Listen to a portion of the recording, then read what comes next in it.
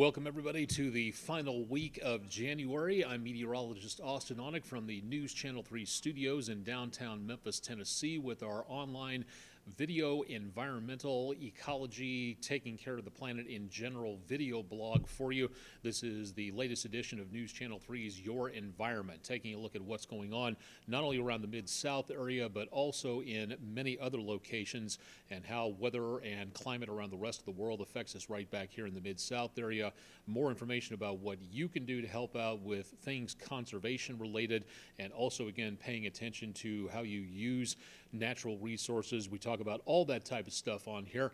More importantly, we'd love to get you involved in this. So if you've got any stories out there that you know about that would fit in well to this blog, any events going on, recycling efforts, conservation, and ecology, we would love to know about that.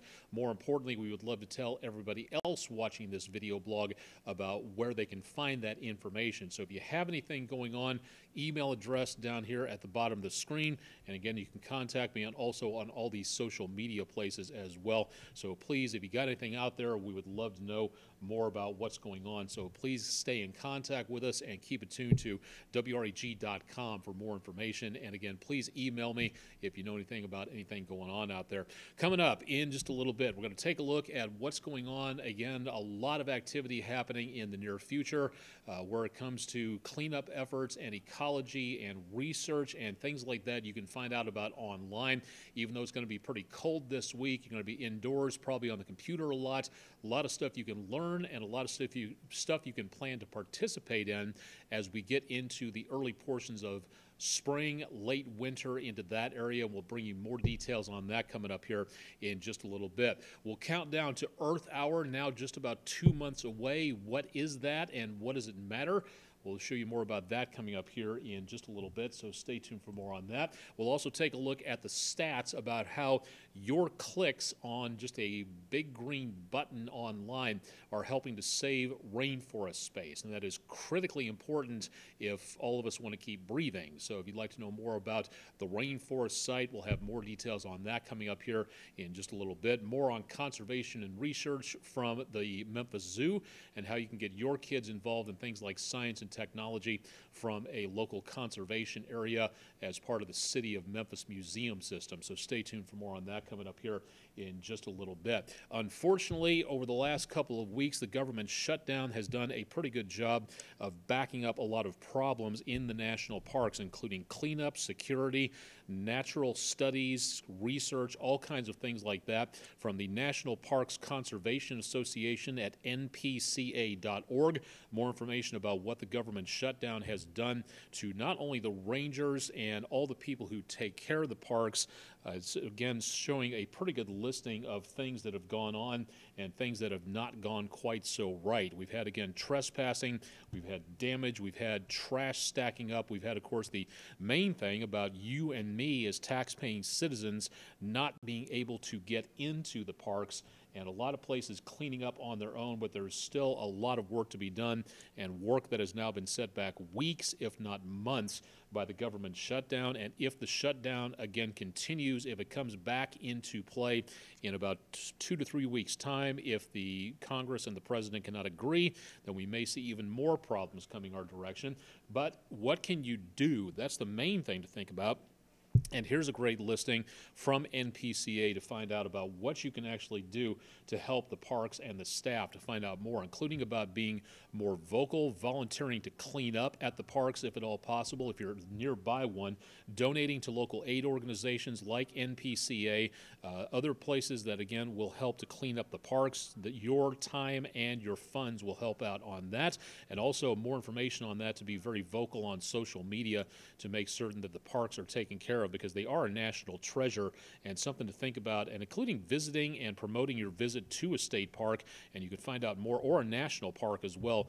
Uh, more information online. You can follow the hashtag opt outside or find your park on Twitter and many other locations to take a look at there. EcoWatch, a good place to take a look at a good roundup of information from ecowatch.com, including information about what has been going on at not just the National Park Service, but at conservancy places like the Smithsonian Institution and a lot of other places that are very highly involved in research in regards to natural resources and also, again, when it comes to things like cleaning up the environment. Good listing of information there.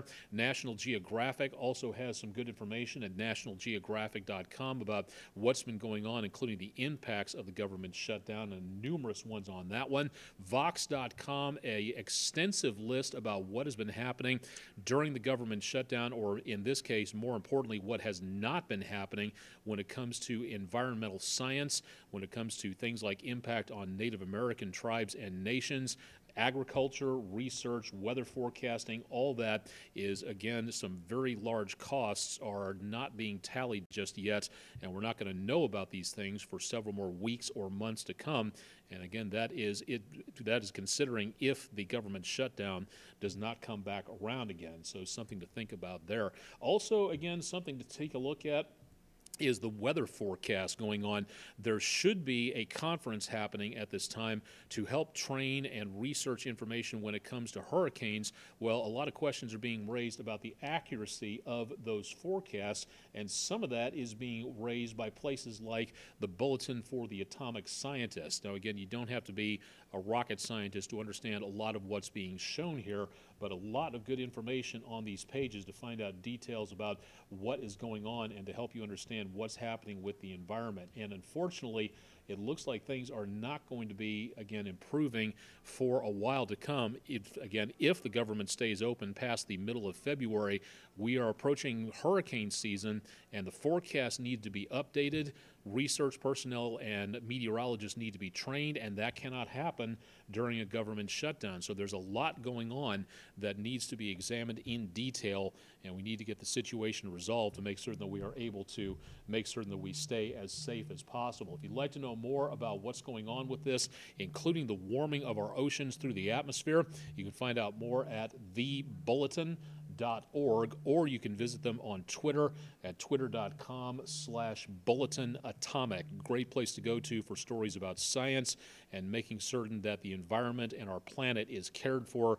The doomsday clock was remained at two minutes to midnight. You can find out more about what that looks like as well. Chickasaw group of the Sierra Club holding a lot of different meetings coming up in the near future, including a meeting coming up on Monday the 28th about frogs and snakes and how they relate to conservation. That'll be held at their monthly meeting coming up, and that'll be at 3224 Navajo Drive if you'd like to know more, again, you can find out more at sierraclub.org slash events and also searching Chickasaw Club as well. You can find out more from the Wolf River Conservancy about what they're doing to preserve stuff along the Wolf River, including the members paddle, the cleanup areas, the tree plantings, and meetings to discuss a lot more about what you can do locally when it comes to things like conservation. So a good opportunity to know more there. From Lichterman Nature Center, Science and Technology, STEM camp coming up here in March. That's available at memphismuseums.org if you'd like to find out more, and conservation initiatives. What's going on at the Memphis Zoo? Not just taking the kids out for a great day at the park, but a good opportunity to learn more about what is out there. The rainforest site, all you have to do is just click on this big green button here and a good opportunity to learn more about conservation on this. Again, all you do is click on this button. All you do is view a few ads and those ads start to add up because the sponsors, once they see you viewed that, will count the clicks and will pay for rainforest site to be set aside that will not be developed. Again, the rainforests are the lungs of our planet, so this is a good opportunity. And just this month, so far this year, 668 acres have been saved, and that's very good news. Earth Hour is coming in about two months. If you'd like to know more about what you can do to save energy, it's a great opportunity to do it. Saturday, March 30th, 2019, a good evening to develop good habits and make certain you tune in because we're doing a lot more when it comes to things here at News Channel 3, keeping track of our energy and more importantly, conserving so we can help you understand more about how you can save energy at your home, your business, your place of worship. Great opportunity to learn more. That'll wrap it up for this edition of our environmental ecological blog, Your Environment environment. Thank you very much for joining us. And once again, if you have any suggestions about events in the Mid South or articles you'd like to see us cover, please make certain you email me at austen.onek at wreg.com. Thanks for joining us, and another edition of Your Environment coming up as we head into February.